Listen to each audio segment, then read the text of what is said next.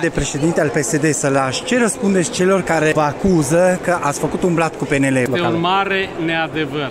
Eu nu fac blaturi cu nimeni, fiecare are șansa lui uh, și sigur ne batem uh, la baionetă, dacă vreți să folosesc un termen din armată, pentru a câștiga orice comună și orice post de consilier în județ. Nici vorbă, de niciun blat nu facem cu nimeni.